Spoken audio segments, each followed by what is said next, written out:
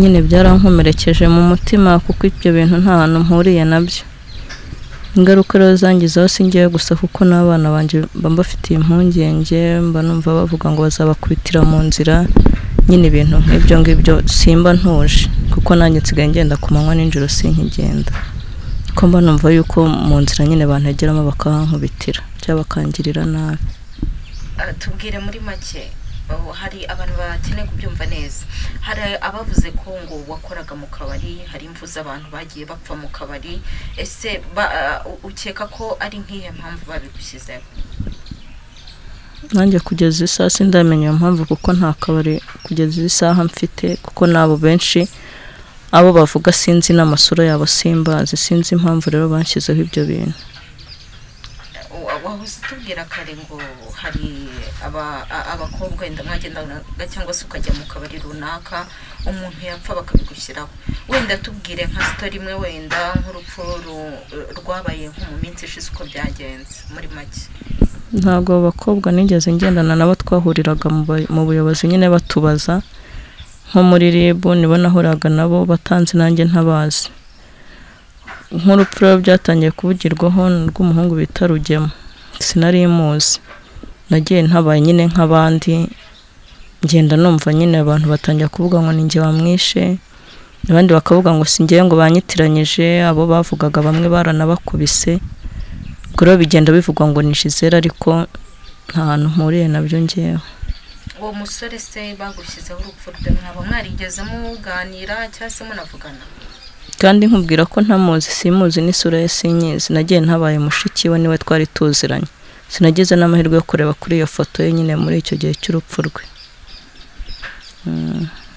noneho hari nk'icyo wasaba ubuyobozi. Uvuze ko bagiye bakubeshyera byaragukomerekeje ndetse bigira n'ingaruka ku bana bawe. Noneho ni nk'icyo wasaba nk'inzego z'ubuyobozi. Njyewe ikintu nabisabira nk'inzego z'ubuyobozi ni ugushaka ukuntu bandenganura bakankuraho nk'icyo cyasha cyangiyeho.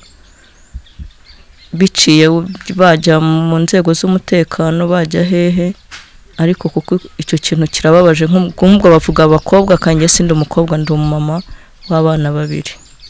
Sindi umukobwa ubwo rero nasabaga nko kugira ngo ngewe bankureho icyo cyasha nimba byashoboka. Abatangaje ayo makuru sinzi ukuntu ukundi wenda babicisha mu zindi nzira wenda baka bakongera bakabihindura wenda bakara ukundi kuntu babivuga bikamvaho kuko nzi neza nubwo abantu babivuga mu itangazamakuru nagiye numva ntabwo bigeze bavugamo izina Gisele sinzi niba hari andi mazina bigeze bavugamo. Uko byumvisha ntabwo wumvishe ko ari wowe ariko nyuma wamenye ko ari we bavuga. Nyine abantu bagenda bavuga ko ari ngewe ariko mu itangazamakuru nta wigeze uvuga ko ari ngewe nta. mazina bigeze bavuga. Utubwiye ko ni ingaruka nyinshi byagiye bikugiraho basaba ubuyobozi ko bwakurenganura. Ni nk'impfu eh, ni nk'impfu zingahe zabaye umaze um- kwitaba kuri rib nyuma y'uko ribye impamagara ni umuntu umwe wapfuye bita muvunyi. Nyine mbere hapfuye abo nzi ni babiri bo muri aka kagari abahungu babiri nyine ariko nzi bamvuzeho nongo nababwiye mbere. Ubundi ntawe bigeze bamvuga usibye abaturage nyine bagenda babyivugira. N'inda yavuyemo ngo ubwo ni Gisele n'umusaza washaje kubera imyaka ye ubwo ni Gisele nyine nyuma y'uko mpuye n'ubuyobozi bwa RIB hapfuye umugabo umwe bita muvunyi kandi nawe sinaherukanaga nawe sinari mperutse guhura nawe. Kandi we nta kintu twapfaga. Ngera ikinyura nuko bavuga ngo ni abantu ngo b'abasore hagapfamo n'abagabo hagapfamo n'abagore ubwo nanjye biba byaranyobeye ibyo ari byo. Gusa muri ngewe byarankomerekeje bikomeye cyane. None se nk'iyo bavuze abasore iyo bavuze abasore bavuga ko uwo bashaka iki baba bavuga ngo ni abasore ngo mbese mu makuru numva ngo ni abasore ngo ni umukobwa ngo wica abo basore ngo kubera bamubenze. Kandi si- sinjya mvugana n'abo basore sindabengwa kuko iyo nza kuba narabenzwe simba narabyaye. Ese imiryango y'abo basore cyangwa se abantu batuye muri ino karitsiye hano muri ndera ah, bo mwaba mubanye gute? Mubanye gute kuva hatangira kwabo ubundi watangiye kwa- kwaba muhe mwaka? Ngewe natangiye kugera inaha nahageze bibiri na kane. Ndahabyarira bibiri na gatandatu. Nza kwimuka njya muri kicukiro. Ndongera ndagaruka nza hano mu rudashya ariho ahangaha ndi mpamaze imyaka itanu yo ndimo n'uwa gatandatu. Nta kibazo rero nari mfitanye n'abaturage sinzi ibyo bintu ahantu byavuye n'abo duhuye basanzwe banzi abenshi baramvuganira kuko bo banzi ngira ngo bivugwa n'abantu nyine batanzi sinzi simbizi. Ariko abaturage njye nta kibazo mfitanye nabo. Watubwiye ko ufite impungenge zo kutakigenda nijoro usigaye ugenda ku manywa bitewe n'umutekano wawe. E- e- ese mu by'ukuri wenda niba atari banga ukora akazi iki? Ubu ngubu nta kazi mfite. Nicaye mu rugo njye nta kazi ngira. Mbere wakoraga akahe kazi? Nigeze gukora mu kabari ukwezi kumwe. Mu kwa cumi kwa cumi na kumwe kuri eshatu ndabireka. Ubundi mbere y'uko nkora ako kazi ko mu karundi narikoreraga ariko ntabwo ari inaha na yo nkiba muri kicukiro. Noneho ni nk'iki wabwira abanyarwanda? Hari uburyo umuntu ashobora kugufata ah, urumva abantu bose bumva iyo bumvishije izina gisele bakinjira muri ndera n'ahandi bumva ko ari umuntu w'umurozi yaba ari umusore akumva ntiyagusuhuza yaba se n'imiryango ikumva iragutinya muturanye noneho ni nk'ihe ni nk'ubuhe butumwa ndawaha abanyarwanda?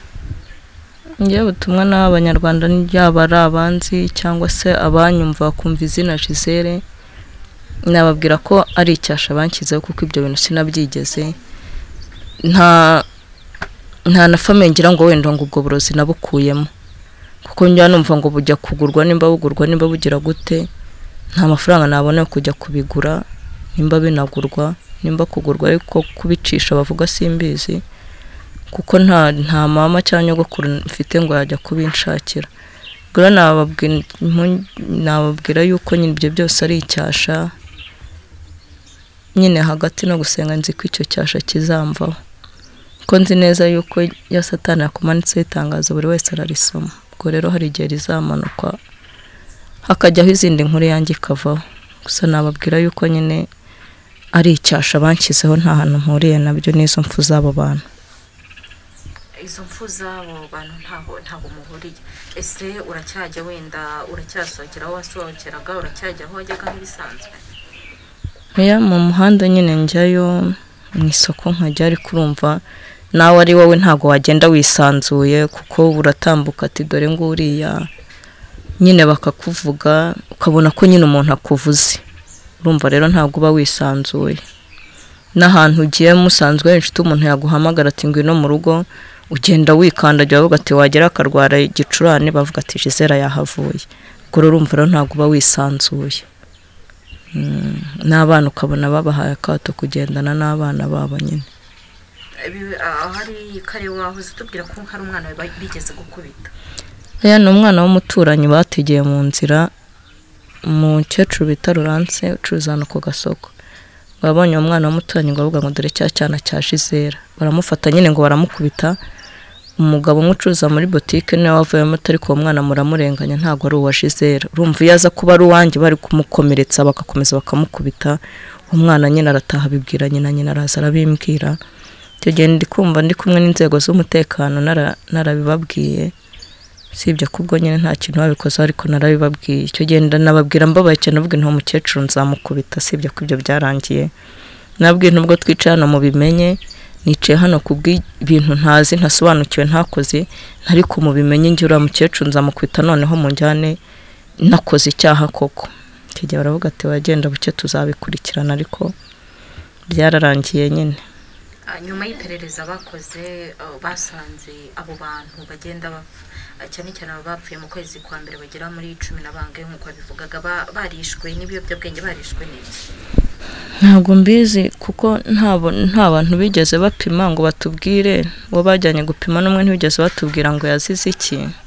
Ariko amakuru bagenda bavuga bavuga ko ari inzoga kuko ngira ngo n'inama yigeze kuba. Gitifu yabajije abantu ababaza nyine ati abantu bemeza ko abantu bari kwicwa n'uburozi? Barasakuza ati muze hano mutubwire umurozi bose baraceceka.